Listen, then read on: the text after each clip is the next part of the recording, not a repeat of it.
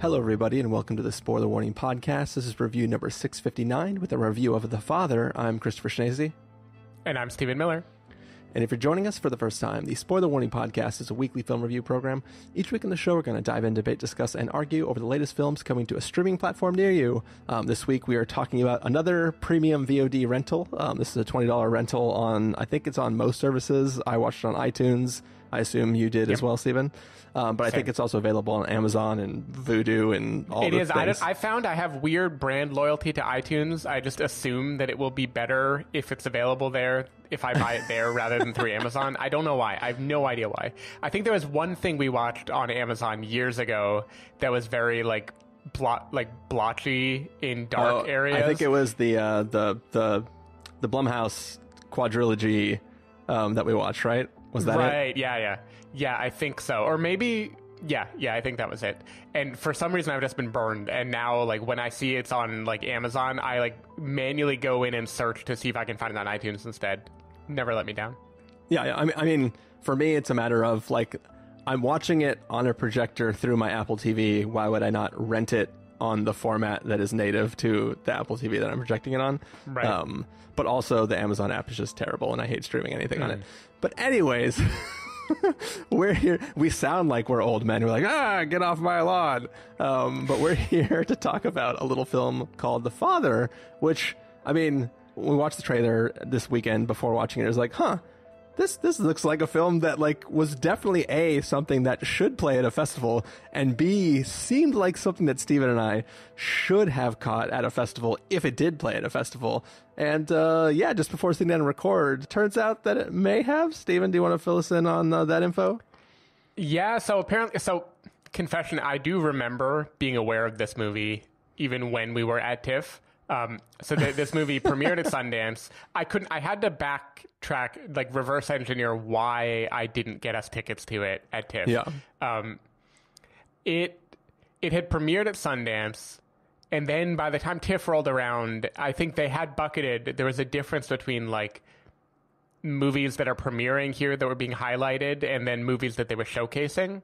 And I did break that rule because Nomadland had premiered at Venice, so like it was also one that it was not technically premiering at TIFF, but yeah. that felt new enough that I was like, okay, this will be a part of the conversation. Whereas the father, I think I like I googled just enough to see that there were a bunch of reviews, and then I was like, okay, a bunch of people talked about this in January already, and for whatever reason at the time, it felt like TIFF should be prioritizing you know movies that no one has seen before, um, and yeah, I kind of regret it because I think given some of the things I did watch, I remember I saw there were multiple movies about a person's relationship with their aging parent um, who may or may not be struggling with dementia, and I went the Viggo Mortensen route.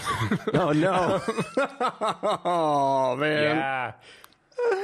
Oh. And we'll find out in this review which Chris likes more. Um, but yeah, I mean, of course, I, this is the kind of thing that I it's interesting. There was some buzz about it, but not a lot, right? It wasn't like there was a groundswell of like, you have to catch the father at TIFF.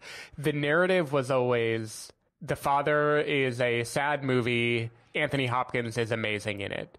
And it felt like the kind of thing that was inevitably going to come out in like November anyway, which apparently I was wrong. I forgot this year is so fucking crazy. They could just wait until March instead.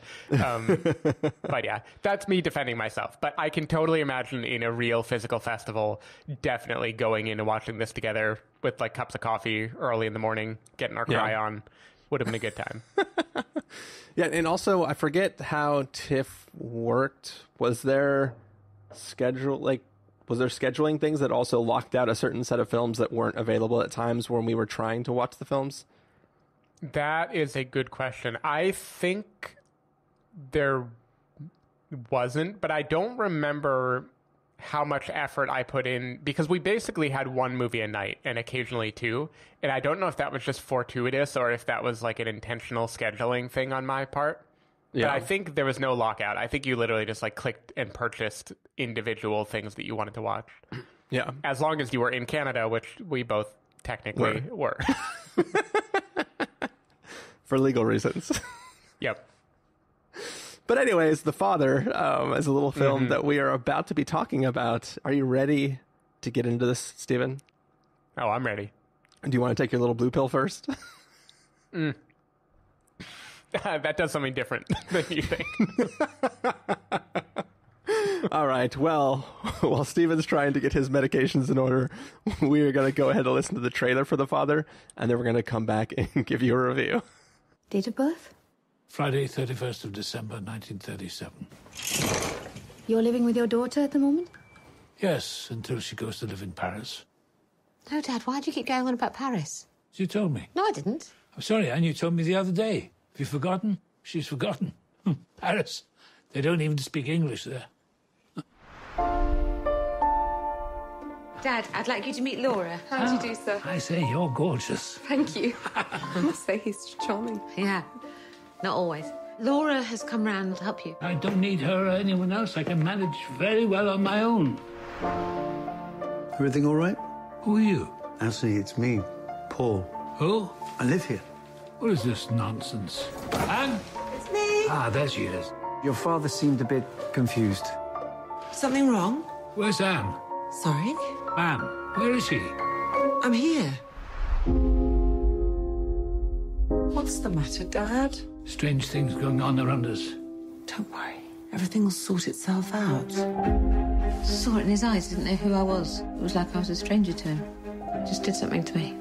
I don't know what she's cooking up against me, but she's cooking something up. What are you talking about, Dad? I'm not leaving my flat! I am not leaving my flat! This really is my flat. Isn't it? You see, the situation is very simple. My daughter is of the opinion that I cannot manage on my own. I'm so sorry about this. Why? She understands perfectly. It's important. I explained it all to you. Why do you keep looking as if there's something wrong? Everything is fine. I think she tries to do the best she can for you, Anthony. Everything will be all right. I promise you. There's something funny going on.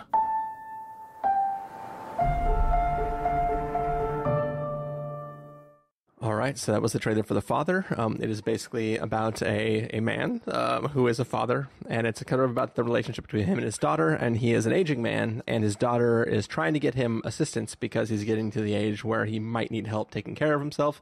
And this man doesn't want that because he thinks he can take care of himself. And it's sort of the story about him trying to decide for himself whether or not he is capable of caring for himself.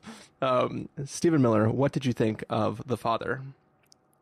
Uh, so I want to preface by saying I did not watch a trailer for this movie at all. Like all I was aware of was this is a drama involving an elderly father played by Anthony Hopkins, and it is acclaimed. And I was like, that's it. I'm sold. Joanna knew uh, the woman from The Crown is in it and was like, okay, I'm sold.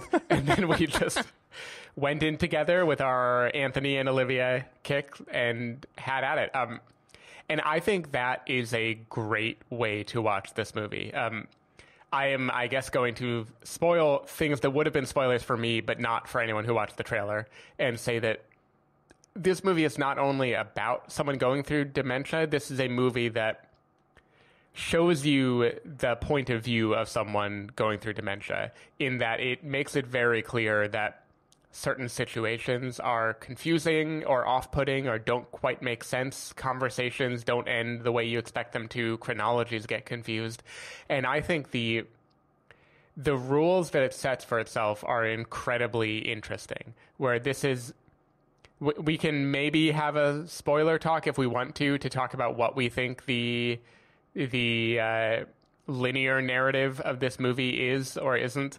Um, but regardless, this is a movie that could have taken its conceit and become wildly impressionistic or anything goes, and it is not at all. This is a movie that sets the rule that everything is completely realistic and believable, and yet you, the viewer, will be put out of orbit. Like something will be wrong and it will be hard to follow.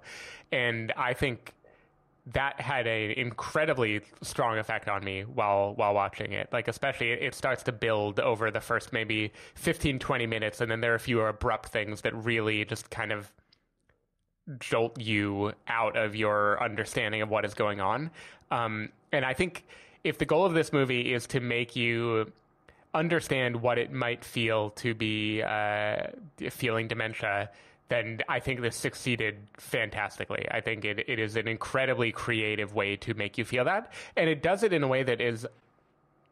This is a difficult movie. Like, it isn't pleasant. It isn't a movie that I want to watch a second time, but it is not a grating, heavily painful, oh my god, I can't believe they're still doing this to me type of movie either. Like it walks a line that I think is very, very, very well done and could have been fucked up. Like it, it either could have been pure melodrama, it could have been Still Alice, um, that you know that movie from years ago that it's just like showcase for an actor gunning for an Academy Award, or Yeah. it could have been Mother or something, right? It could have been like I don't know what the fuck is going on, and I'm terrified. Um, but instead, you know, it it I, I, I just I was very impressed with what the movie did, and of course, a lot has to do with the cast. I think Anthony Hopkins is phenomenal in this role. It it's really interesting because they it is playing off of the characters he has always played. Like a thing that is always true about Anthony Hopkins is he is he's both like very polite and reserved, but there's like the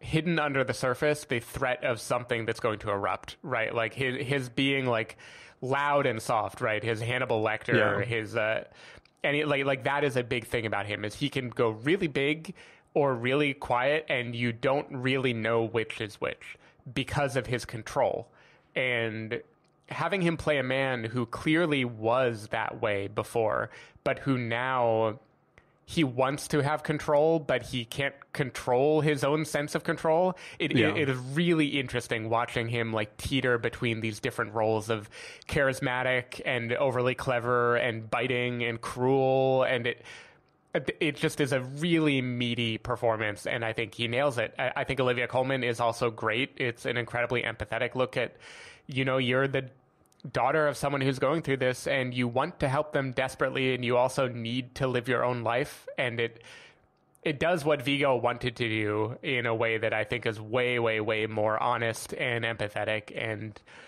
yeah I I think it was extremely well done I I don't want to watch it again like I found, I found it rather devastating in places that we can talk Yeah. about um, but I, I I was just very impressed. I think it was a very complete vision and a like fantastic showcase for like an amazing actor. So I was really glad that I caught it. Yeah, I, I think that this film, all of its success, sort of belongs to the conceit of what the film is doing, and then all Anthony Hopkins. I mean, he, as you said, he is he is amazing. He is terrifying. He is tragic. He is all like any one characteristic you'd want to apply to an amazing performance in a film. He is all of these simultaneously in this film. Um, and I, I think that that was amazing to watch for me. I think that, you know, I did see the trailer, so I understood the hook of what the film was going to start trying to do. And when it started doing it, I was like, you're doing it. This is like this is great. I feel exactly exactly the way you want me to feel, and I think that it does that extremely well. Um, I think for me, it might have stepped a little too far into what it was trying to do, and it, it's it's so it's it's a weird thing to say because I really really love what this film is doing and the presentation, and I found it deeply affecting, and I I, I was I was very happy to have watched it, and I really wish it was something that we would have seen at a festival, just so there would have been like, especially if it if it was you know it wasn't, but imagine being back in an in person festival and Right. getting to see this with a crowd of people experiencing it for the first time. There was no trailer. We're all like, Oh, it, holy it would shit! be ideal, right? It's Yeah. just the shocked audience trying to figure out what they're watching at the same time. That would that would be fantastic. yeah like that that would- that would be amazing and I, and I really love um I, I like I, I think this is a very good film I think that it might I don't want to say its reach exceeds its grasp or whatever um but I but I think I think for me and maybe this is better talked about in in um spoil a spoiler segment but I think that like you you kind of mentioned both confusion and chronology and I think that this film uses both. And I think that the general confusion is spot on, perfect, amazing, love it. The chronology that it plays with, I don't buy it. Um, I mean, like we get context for it, but I think that like when you are watching something in real time and then you're presented with information that messes with the chronology, I think that you're doing something different than the confusion that you're going for with this character. And I think for me, it felt like it was trying to be like too clever by half, and and I I kind of it didn't take it away. It like it didn't it didn't didn't lessen the film for me because of how great Anthony Hopkins is, is in it. But it did did make me wonder like what exactly are you trying to do and what are you basing this metaphor of Right. things on and it, it- it made me take like it made it didn't make me take away from my love of the film it made me question the motives behind that decision so it was like i'm mm-hmm. having this this deeply engrossing drawn in experience watching this character go through what he's going through and then i'm also thinking about the filmmakers and wondering mm-hmm. like why did you make these decisions? And I, and I think it's, it's hard for me to, to go away from the film and not be like, yeah, this was great. You should see it. But also tell me if you think this was weird. Yeah, yeah. I mean, I my prediction, and honestly, I'm I'm kind of in your boat. Like I, I'm praising it because I think the things that it does well are really, really, really good. But it is. I don't know if I would say it's like too clever by half, but it's like too purely conceptual to be a thing that would have made my top 10, if that makes sense. It's the kind Yeah. of movie that I would be like, oh, yeah, definitely watch that. But for some reason, while it succeeds at exactly what it wants to do, it does not. I, I think what it is is that I think what it wants to do is confuse you. And as you said, there's a difference between confusion and messing with chronology. And what I don't know is if you, if there would be a way to instill that confusion in you without the chronology messing. And like if that is just like a necessary sacrifice that the movie had to make in order to really unmoor its audience and make them be like, where, what? But I thought we just, what are we doing? yeah. Um, I, I think, I think it makes it really hard to attribute a literal narrative to it, though I will try to do it in spoilers. Um, but that, that I think that is a trade off that the uh, director and screenwriter is making between what makes sense and what will make the audience feel a certain way. And it, I think it kind of hurts the movie, but I also don't know that it could have been done without that. Yeah, so I mean, I mean, I'll I'll have to wait for your your spoiler take because maybe, I I I think it's one of those things where the problem is you get the questions so early on, and mm-hmm. the final scene adds some context to the questions you have, but by then you've had the questions for so long, it's kind of like not a good enough answer, right? It would be like i if a show, let's pretend like say you hated the ending of Lost, and then 10 years later they made a do-over finale episode even if it fixes all of your problems with the way lost ended you're like yo this is like 10 years later like Right. like like how how does this fix anything um Yeah. I- in a Yeah, way that- i kind of felt for like me that at a certain point i had to just like submit myself to the movie and be like okay what it wants me to do is feel deeply confused and i'm just going to feel that right Yeah, I think I think for me, what it felt like is trying to see how ambiguous I can stay with it. It felt like somebody made a short film that was the father, and then somebody was like, "Holy shit, this is amazing! If you can get like a big star to play the father and make this an hour and forty minutes, uh, I'll greenlight this picture for you." And they kept everything the same and just Yeah. extended so what what's interesting is your theory is both right and wrong in that this was a play first it was a play that the director florian zeller made Okay. like like eight or nine years ago i have no idea i would bet the play is more straightforward and in adapting it to a movie to get the same emotion you get out of live theater he added more twistiness. That would be my guess based on having never even clicked the wikipedia link for the play. So don't Yeah, yeah. at me. Like i don't know anything about it. Um, but it, yeah it, it, it's it's interesting. It, it it is very interesting. So what i found compelling about it is that as a showcase like the fact that the story is intentionally slippery, like you can't really hold on to it. I feel like that makes a playground where primarily Anthony Hopkins, but also Olivia Colman really get to shine because they get to make you feel things in a universe where you don't really know what is going on. Um, and I think that is like very, very, very impressive. Uh, we Yeah. were talking off mic, like before we started recording. Uh, we were referencing a scene where Anthony Hopkins, um, he has a new uh, nanny. Is that what you call it? Nurse. Um, Yeah, in home care person. yeah, he has a new caregiver who is coming to meet him and kind of both of them mutually decide if she would be a right fit for him.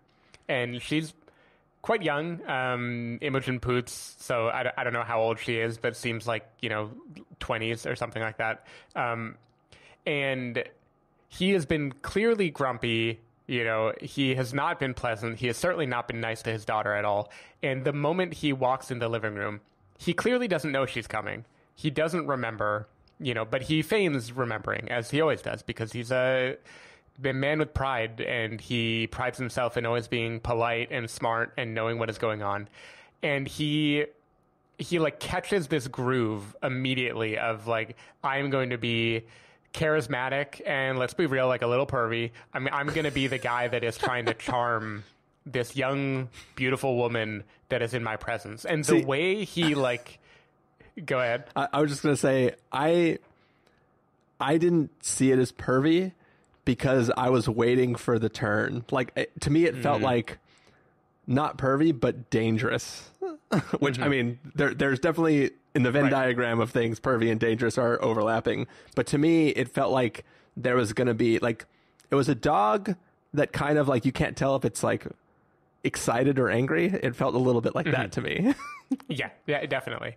Um, there, there. I mean, it, it's all there. It is. Uh, he he turns on the charm in a way that is manic enough that you are uns- unsettled, but you also you can feel the version of him that he is slipping into that used to exist. You know, and he is like funny and over the top and it is also always a little bit scary not because you think there's risk like I, I don't think the movie wants you to feel that like a person with dementia might suddenly turn violent but there's like a risk of him changing on a whim right there's a risk that like this is going to go somewhere darker than i feel like it is going to go right now and the fact that the fact that we have seen him up till now behaving so differently makes us feel very uncomfortable. Yeah. And I, I just think that whole scene, him doing it, the way Olivia Colman and Imogen Poots both react to him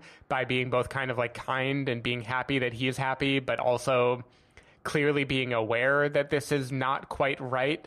And as that tips, it, it basically runs the gamut from like grumpy to charming to cruel to downright just angry and Yeah. I, I just thought it was fantastic like like i i know a lot of people will probably talk about his last scene in the movie as being the big oscar moment but i feel like that is like the big oscar moment to me is Yeah. that scene where he goes through all of those emotions at the same time I mean, he has like at least three of these moments, right? There's that moment, there's the ending moment, and there's also like there's a moment where he is trying to confront, I think Olivia Colman's uh, husband, um, which is also an equally like he is trying to exercise the upper hand um, in a way where it's like you're getting his like his Westworld character coming out, Yeah. like where you're like, all right, all right, uh, I like this, I like what's going on here. Yeah, and and and again, like like in all of them, it's it's him like it's the power dynamic shifting, right? It's like he has that upper hand, and then very much like his last scene in the movie, there is like a there's a turn, and the turn is so sudden and heartbreaking, and it yeah, you're, yeah. There, there are multiple Oscar scenes in this movie, but I it is fucking extremely well earned. I think. Um, yeah. So the real question is at the Oscars, which clip are they going to play? Because I feel like sometimes there's like straight up spoilers in the Oscar reel for like, and then this person's nominated, and you're like, whoa, why are you showing that scene? That's like a big deal. Yeah, see, I feel like they're gonna just go boring and just have a scene of him being like, "Have you seen my watch?" Like, like I feel like they're just gonna do something that is not one of the big moments at all. Oh, that's a nice watch. It's pretty, very pretty. Where'd you buy it? Do you have the receipt? So, at the risk of turning this a little bit more depressing, uh, I was wondering if you have had anyone in your life who was like going through dementia, like if you if you've watched that happen to a relative before. Yeah, I mean, I, I've I've seen it more from the outside, like you know, happen very quickly, and I haven't experienced it the way this film portrays it. Um, so it's not. I haven't had like that sort of direct experience with with with it like in that way. Um, but it's definitely a, a very. It's a sad thing to watch happen. Um, but it's also a thing that I still don't really know how to react to or respond to. You know, it's like a thing that Right. like still still hard to under like to know what to do if that makes sense. Yeah. What about you? Yeah, because I've I've seen it uh, a couple times in my own life, and I, I like I've never seen one person who was like Anthony Hopkins because he kind of is running the the gamut of Yeah. emotions. But I've seen the extremes, right? Like I on on one side, I've had a relative who extremely kind, loving person, extremely good memory, would always ask you how you're doing, all of that. And I've seen how that changes into she's still very kind. She's happy to see you. She always pretends she knew that you were coming over.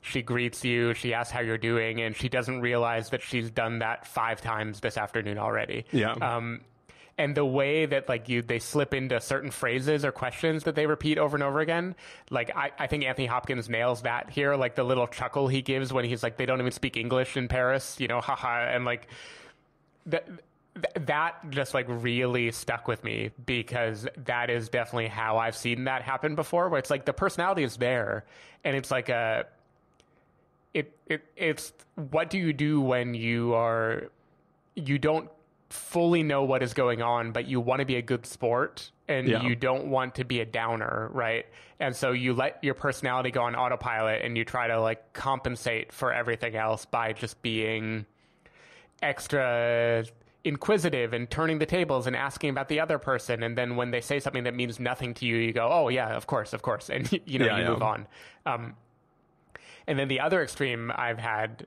uh, was a guy that he went like kind of very quiet, uh, especially after a few years, like wouldn't say much at all, would kind of just grumpily sit there, passively listening to everything. But he had certain opinions that he was very strong about. So I'm remembering being at like Thanksgiving table. He said nothing for a half hour. We're all talking. It's like 2013 or something and someone mentions Obama and he's the first time he spoke all night was like he looked up and he said he is a liar and then he was like um which, is to say, I like, yeah, I, don't- I don't know. There, there was something interesting to me where Anthony Hopkins like has both. He has like the the stubbornness and the Yeah. kind of like I am I am rooting myself more in these things that I've deeply held, and I'm gonna just be like isolated and express opinions occasionally, but otherwise keep to myself. And also the I'm gonna reach out and ask about this person and what are they doing, and try to make a connection, and then have it just be strained a little bit. And I, I don't know. I, I thought there was something interesting about the way he juggled both of those at the same time. Yeah, yeah, yeah. It's it's it's always a tough thing to you know, as I said, know how to respond to. Like I, I still remember the first time like hugging somebody who doesn't know why you're hugging them or who you are. Um, like the Yeah. first time that happens, it's it's definitely a a shocking feeling. Um, but yeah, for the most part, you just you just roll with it and try to try to go with you know what's going on. But like, yeah, luckily I've never I haven't like like like this this is portraying it in a way where it's like this is somebody who sometimes so- sometimes is like fully lucid and completely in control of his faculties but it's like slowly things start to happen that that challenge that right for us the viewer and also for him um it's it's it's a little bit different than than say um Dick Johnson is dead, right? Or like Right. like that was a very different feeling because he was like just this super awesome, happy dude who was 100% in control of everything and just game for whatever. But you still had that fear of like, oh man, like something, something is, this is going to start to deteriorate, deteriorate really quickly. Um, and it's, it's like seeing that transition, um, is always a scary thing to see. Here, we're joining Anthony Hopkins, like he's already there, and we're just trying to understand to the extent of how he's how he's there and see Yeah. him try to work through his scenes. And it, and, and as we said, this film does an amazing job of just like putting you there. Like it doesn't make it a horror film like Relic, right? Right. Um, but it but it does let you feel it in a way where you feel it by watching how he tries to work it out. Um, which is which is a good change from it's not just like make this feel scary. It's you also try to keep up. right. And and an interesting thing is that we'll talk in spoilers. There's no reason to think that the movie is about a progression, a deterioration, right? Like as you said, when we join him, he is already struggling. And yet, the way the movie flows, you still kind of get a progression into it being more and more difficult. And it, like, like it's an interesting thing that the movie does, where we get the hints early on, like his watch, right, and certain conversation points that don't quite make sense, but then it, yeah, I, I don't know, I, I don't even know how to explain what the movie is doing, but I feel like it is, it is telling the story of how he got there, and it is also telling you what it feels to be at that end point at the same time in a way that is uh, very interesting and kind of hard to juggle. Yeah. So I mean, yeah, I, I think probably it makes sense to have most of the rest of the conversation in spoilers directly. Um, Yeah. So for now, do you have any last points to make before we we or last things to comment on before we jump into spoilers? Uh, uh, the the only other thing I wanted to say, I guess, which we'll probably talk about more in spoilers, is you mentioned the feeling of hugging someone who doesn't know why they're hugging you. This movie does a fantastic visual representation of that. Um, I, I won't spoil how it does it, but I that was one of the first like really gut punch moments in the movie for me, Yeah. and I thought it was just e- extremely well handled. Yep, I agree. Well, um, for now, uh, before we get into spoilers, let's go ahead and give our verdicts for everybody who's listening. Um, so, Stephen Miller, if you were going to give us a must see, recommend with a caveat, wait for rental, pass with a caveat, or a must avoid, what would you give it? I think I'm going to round it up to must see, um, even though by technicality it would probably be a recommend with a caveat, because the caveat is I, I don't think this is a particularly pleasant movie to watch. I think this movie is definitely difficult, but I just think the performances are amazing, right? Like this is definitely an Oscar movie as far as the performances go, but it is the narrative that I had heard going in was that like this is one of those movies that you see because it is a great vehicle for its lead and you otherwise kind of forget about the movie.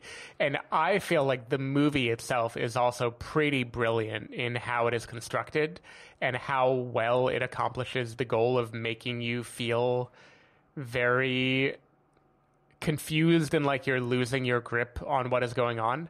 Um, and for that, like having that filmic accomplishment and having such a fantastic performance, multiple. Again, I think Olivia Colman is really, really, really good also as the Yeah, yeah. empathetic but also frustrated person who has as we'll talk in spoilers, it's not even totally clear what she has to play, but she juggles it all very well anyway. Um, yeah, I, I just think having these performances and also being such a cleverly constructed film just tips it into a must see category for me. Yeah, it's such a it's this is a weird film. like I, I I think I'm going to have to give it a reckon with a caveat. Um I like it's it's must it, it's must see quality, but also it just it tries a little too hard at some things, which like maybe by the end of the spoiler segment you will have made me come around on. Um but it it just something about it made me think that it didn't need to try to be exactly what it was because it was already exactly what it needed to be before it got there. Um, so I think for me, I'm going to knock it down just a tiny bit. Um, I still really found this to be a fascinating film with a really interesting portrayal of of what Anthony Hopkins' character is going through. Um, also, I don't know if it's like purposeful or weird that like the character's name is Anthony. like, I think it's intentional. Yeah. okay. I um, think also he says he was born in 1937, which is when Anthony Hopkins was born. So I feel like they're doing something there too to make Yeah. you be like, this guy is dealing with aging and mortality, and he is literally the age and person that he is describing. Yeah. Also, like Anthony, I, I- like in my head, Anthony Hopkins has been this old for like thirty years. like right. like as far like so, like I mean maybe not thirty years, but I feel like one of the early uh, reviews we did of the podcast uh, um, was the horror film The Rite, um, where he was like playing this priest um, who did exorcisms but was like potentially possessed himself. And like in my head, when I think back to that movie, he looks identical to the way he does in this film. Like it's just it's just like that like 14 years ago or Yeah. whatever we did that that, that I- in my head now, Hannibal Lecter looks like this film. Like, like I don't know. He just he's carried himself as like an old man for a long time. Yeah, yeah. Um, but all that is to say, like, it really goes to show how much old age makeup they put on him in Two Popes. Because I can't imagine his character in, in the Two Popes doing the tap dancing that he Right. does, albeit briefly in this film. Like, I, I was like, oh, damn. Yeah, and we we don't know how many like invisible wires or whatever they had. We don't know what sort of the Irishman tech was being used. right.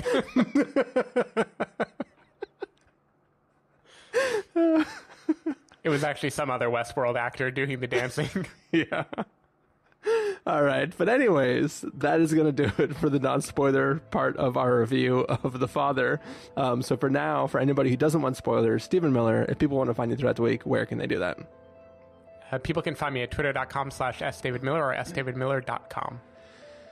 People can find me at ChristopherInRealLife.com or Twitter.com slash ChristopherIRL. You can find the podcast over at SpoilerWarning.com where you can get a bunch of the back episodes of the show. If you want to subscribe to the show, you can do so on Overcast, Stitcher, Apple Podcasts, or wherever podcasts are found. If you want to know when the episodes go live, you can follow us at Twitter.com slash SpoilerWarning, Facebook.com slash The or Instagram.com slash The. If you want to get a hold of us directly, you can send an email to fans at TheSpoilerWarning.com, or you can use the contact form on our site. Music for this episode will come from the soundtrack to The Father, so hopefully you are enjoying that. That music is going to start to fade up now, then it's going to fade out, and uh, when it does, we're going to be in spoiler territory. So if you haven't seen the film um, and you don't want to be spoiled, then go ahead and go rent that for $20 and then come back and listen to the spoiler segment.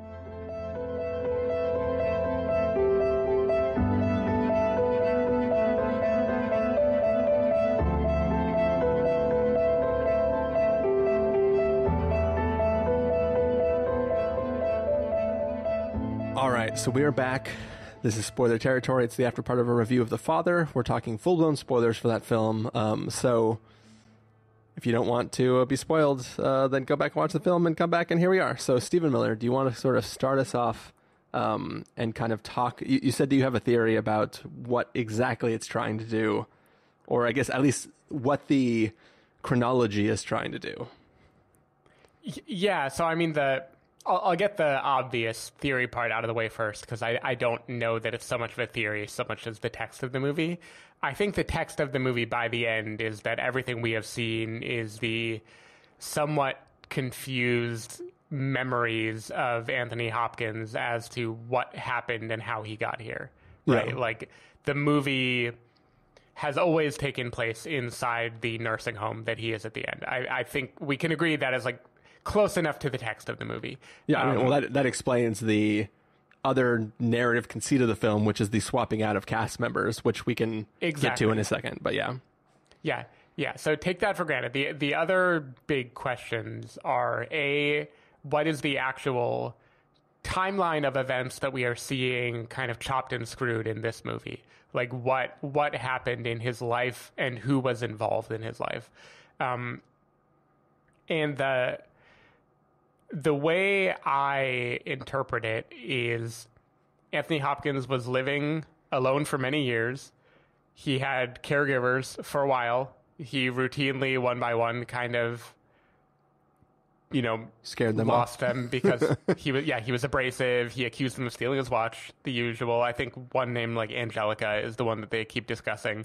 Um, a- at a certain point, he is without a caregiver and so he has to quote temporarily move in with his daughter Laura. At the time, his daughter Laura is still married uh, to a man who I believe the text of the movie will tell us that he is an asshole and he was abusive, like at least somewhat elder abuse. That this there's a scene where he is being slapped by uh, the guy played by Rufus Sewell. I take that as a real thing that actually happened, Yeah. and the strain of that of this guy's abuse, which maybe his daughter did not know about, and then also the husband just being an asshole and being impatient and not liking how much this is encroaching on his life causes them to get divorced. And then for a number of years, she is taking care of him single handedly. And ultimately, she decides she can't do it anymore. She meets a person. She's moving to Paris. She drops him off in a nursing home. The end. Like, like that. That is kind of how I interpret it. And these things that he is remembering are memories of the time when he w- had just moved in with them, and then the times when he was going through caregivers while living alone with her. Um, and it's just like a couple key memories from that that are being redone kind of over and over. And in that actual timeline, his dementia was not so bad at the beginning and it got worse by the end. But now, because he's witnessing it from the end, then it is all kind of confusing and disorienting. So That so, is that is the text that I believe the movie is going for. So my only question about that text, for the most part, I believe that is the text. I also believe that is most that is the text of the film. However, the shitty husband is also the French husband. So if they get divorced, why does she move to Paris? Is he the French husband? Isn't he?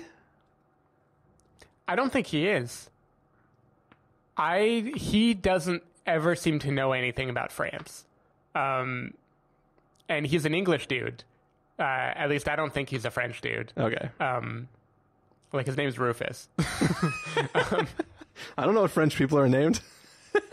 yeah, so I believe because early on in in the opening scene, uh, the conversation Anthony is having with Laura involves how he asks about where her husband is or something, and she says like, "Oh, we you know we've been divorced for years." Yeah. and I think this is that guy that she has been divorced with for years. Okay. Um, yeah. Okay. And you think that so Anthony Hopkins think, seems to think her ex-husband is named like forget what it is, like Jason or something, right? Yeah, I don't remember what name he uses. That that's one thing is I couldn't I didn't do my diligence to like search online and find anyone who cataloged all the names that get thrown around in this movie. Yeah. Um but yeah, it, that's just my that that is my story is that maybe he's getting the name confused. So here is the confusing part with so we've established what is probably the text of the film. The confusing thing, which I think is both brilliant in how it works on you, but also loses the ability to have a reality that you're latched onto, is this is not this film does not take a single point of view, right? Like this film has Anthony Hopkins getting progressively more confused. We see things that are definitely his point of view, like faces changing, right? Olivia uh, Olivia Williams suddenly playing Olivia Colman's character, or that other guy suddenly being the husband who isn't really there, or he's there and Olivia Colman can see him, and then five minutes later she can't see him anymore. Like there's all these things that are clearly Anthony being confused. Yeah. But in all of these moments, we also get the reaction of other people. We get the uneasy reaction that Olivia Colman has. We get the looks that she and Imogen Poots exchange with each other. We get these things that the Anthony himself would not necessarily be privy to or wouldn't be self aware enough to recognize. And we get conversations when he is not in the room. Um, Yeah. and those combine to make it hard to know how exactly to interpret this. Like, I believe the text of the film is that this is a feverish memory that he is having, but the film very purposely decides it doesn't want to limit itself to his memory. It wants it to be a kind of hodgepodge of all the different ways they did or might have reacted to him as a burden or as someone that they care about or someone that they're getting fed up with. And it is just kind of showing us a greatest hits collection of all the different ways that he might have weighed on them. And maybe that is his subconscious having picked up on more cues than he let on. And he's just kind of rotating through them now in this memory. Yeah, so so I think for me, you know, whole French French guy confusion aside, um, I, I think for me the reason why I don't like the chronology aspect of it, and the reason why I made my analogy of this having been a short film that was extended, the thing I was trying to be ambiguous about is it feels like this was a short film, and then they just replayed this all of the scenes of the short film multiple times. Um, and then that's how they got the full runtime of the film because this film is really three scenes. There's him in I mean all of it is technically him in the old folks home, but there's there's him realizing that he's in a home. Um, there is him before and after the dinner. Um, and then there is um, him meeting the caregiver, right? Like those are the only scenes in this film, but we are watching those same scenes replay multiple times with slightly different contexts and slightly different levels of um, agitation or um, you know whatever about them. So it, it feels like like I was I was hundred percent on board with with the character switching, um, or, or I should say the the actor switching um, in the film. Like I was like, oh, this is like really smart. Like I really really like the way this is working. I feel the way Anthony Hopkins feels. I understand his confusion, and then I became actually confused. Like I think for me, there there's this. So we watch the scene where she brings home the chicken he has this moment where he's confused and everybody's like, there's no chicken. What are you talking about? And then the very next scene is her buying the chicken downstairs. And I was like, oh, is it going to go back and show us her side of this? I'm like, that's interesting.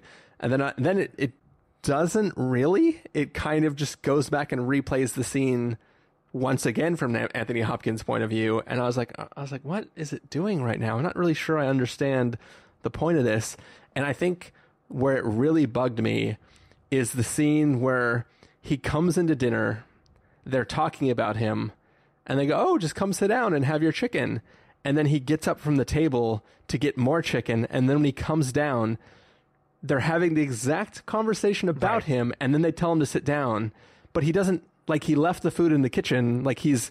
He's not sitting down to dinner like the first part of the memory. He's now just sitting down to a table, having to deal with the fact that they were just talking about him, and he knows that. And it was like, I something about that like that repetition bookending that one moment felt like I was getting like you're trying real hard to be um I'm thinking of ending things or something, right? Like it felt like it, I was about to say it is very I'm thinking of ending things. yeah, and, and it was like I was like, ooh, I like you had me in this gra- like this film is incredibly realistic up until sort of about that time frame, and then it starts to becoming more metaphor for dementia, maybe.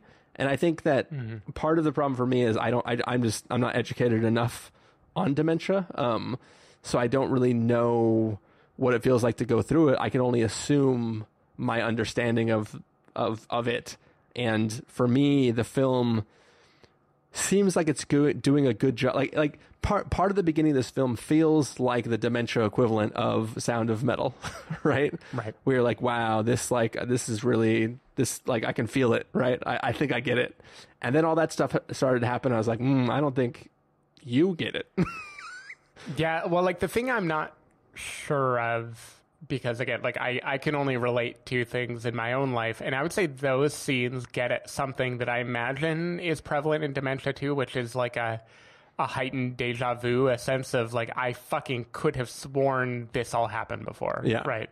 I feel like I've had this conversation. I feel like you were right there. I feel like we were doing this, and I think that I, I will admit that dinner scene being bookended by the same dinner and him taking opposite decisions in both those cases, that did.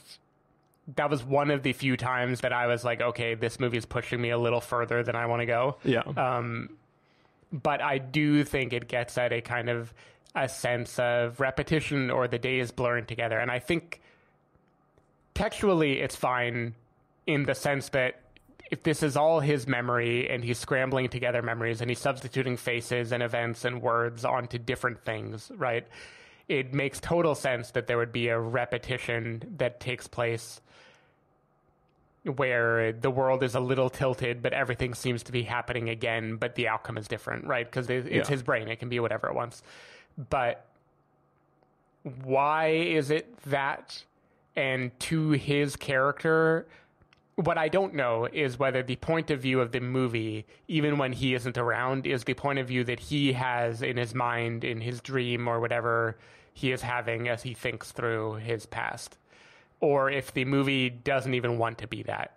Yeah. And the movie is just going to be a kind of a impressionistic, like, let's walk through the confusion of dementia and the way you feel like you're losing your grip by just playing a remix of scenes in his life a couple times to show the different ways those scenes could go, right? There's the way where he joins them and there's the way where he walks away because what is the point? This doesn't make any sense. I'm confused. I'm scared. I'm going to leave.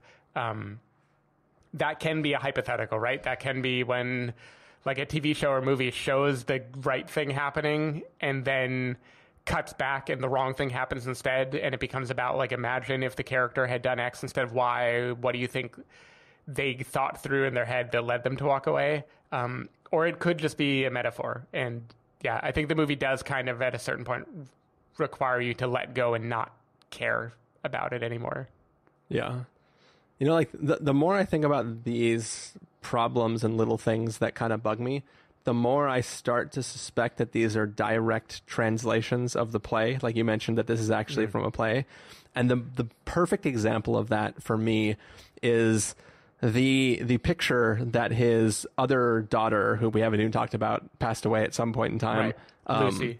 Yeah, and, and, and honestly, it's hard to know whether Lucy was actually a painter and painted that painting, or if that's just a thing that he thinks is true now. Um, but he has this painting which they constantly talk about. He constantly brings up, constantly points at. And there's one scene where he comes out and the painting's not there, but in the painting's place is like the not worn wall where the painting used to be and it's this it's this like Yep. might as well be like a chalk outline at a murder scene of this painting used to be here i can see that visually being a perfect representation on stage right? Like that's the great mm-hmm. way to like have that look there where like okay we get it we're the audience this is a set piece the set has changed.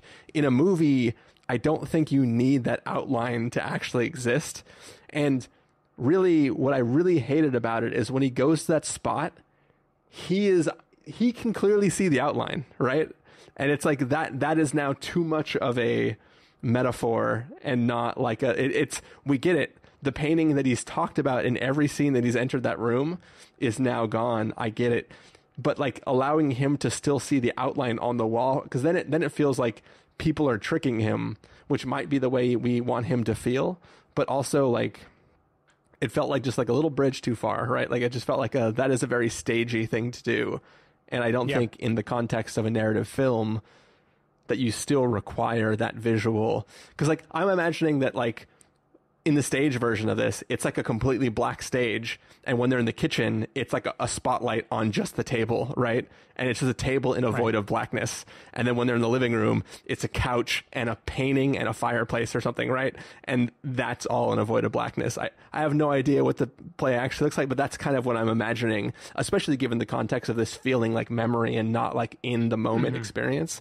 Um, Yeah. So I think all of that sort of works. Like it's almost like the, uh, in in Eternal Sunshine of the Spotless Mind when he's when he when he puts on the machine and he's going through the presence of him wearing the Right. machine like that scene where they're going back like I'm imagining that but in a stage version is sort of what this film would that- what this the play version of this would be.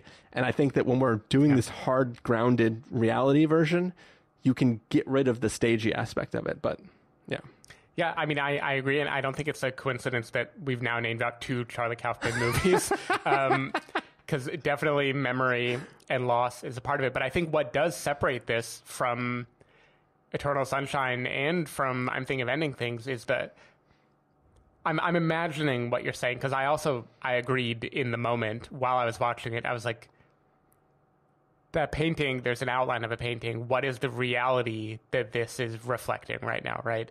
Um, but then I imagine the alternative of it just being a room that is oriented differently and there's just no painting, and that is more the I'm thinking of ending things version where it's just like a tilt happened in the universe and now you are forced to play along with it.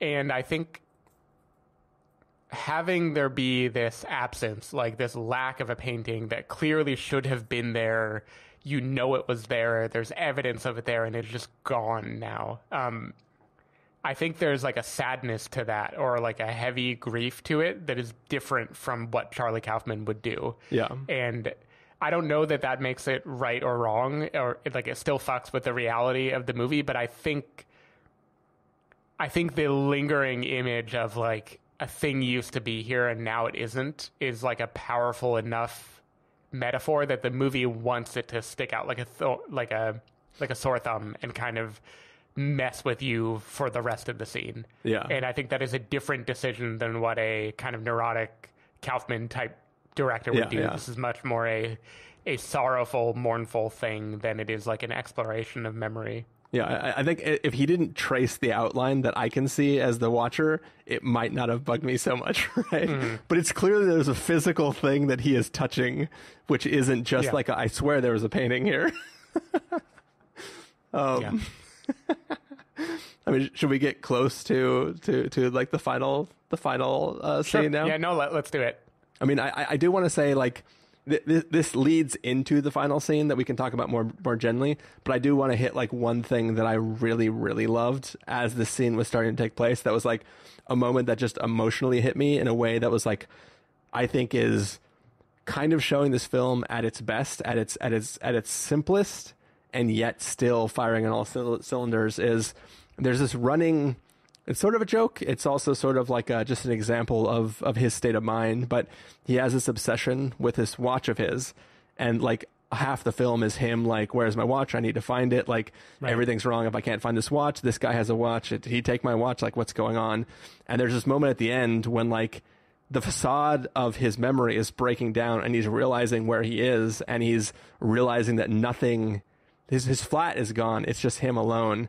And like when the nurse comes in to see sees him and like checks to see if he's okay, he like he says, "Yeah, I'm okay. I have my watch." And like that was like Yeah. there's something about that like that callback to it like just it felt like a little bit of a chef's kiss of like that Right. it wasn't just it there was something about the watch whether it's chronology or what that was comforting and important to him and like represented his like his sort of it's like his Linus blanket was this Yeah. watch. And it wasn't just him trying to use the watch as a way to take down the people who are trying to help him. It was like he literally wanted that watch so that he could feel safe in whatever state he was and wherever he was. And i really really loved that sort of aspect. Like obviously that entire ending scene is really really powerful but there's something about just that like him reverting to that childlike state and being like no it's okay i have my watch um that really Yeah. really worked on me No, I, I completely agree. I thought that was a great little character moment. And it just gets to the, the like all of him is he's we see him be so many different extremes, right? He's abrasive, he puts his daughter down, he tries to be very smart and cocky, he tries to know what's going on, he's accusative, like he runs the gamut of emotions, but beneath all of it is like this desire to be able to hold something and understand what is happening and that is all the movie does such a good job of shoving all of that in like this little watch right this predictable thing that is on your wrist that you can look at and you know one thing right you Yeah. know what time it is um if it was and I think true, yeah. Um, and yeah, I, I just think that that payoff is really, really, really good in in that final scene. Yeah, yeah. And then, of course, there is the the Oscar moment, which is he starts asking questions. You know, he opens up to this nurse, Olivia Williams, and he he starts asking more and more. And at a certain point, it turns into this like very childlike, like like the the the moment where it all turns is this question as he's asking like where's his daughter what is she doing and where is he? Blah blah blah. And then his final big question is like, and and who am I? And the the way he asks that as at first as if it were like a natural, just conversational, like the logical next step, and then how that becomes like the thing that he completely crumbles around. I think that definitely got the you know it got a little misty in in my living room. yeah. No, for sure. I, I mean, I think it's like you're you're watching. You're watching the, the whole film. You're watching a incredibly intelligent man try to barely hold on, and in this moment, you're watching all of that go away, and none of it's left. Um, and that's always very, very impactful. yeah, It's a good movie. good movie. what, what what's funny is I I liked it. I didn't love it as much as I'm raving about it now. I feel like it is a this is a better movie than I loved it.